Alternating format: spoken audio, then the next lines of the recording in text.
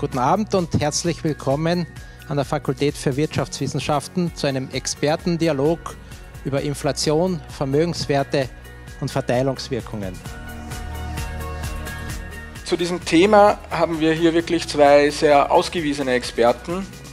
Das Thema ist ein sehr umfassendes und vielschichtiges. Was wissen wir über Verteilungswirkung von unerwarteter Inflation?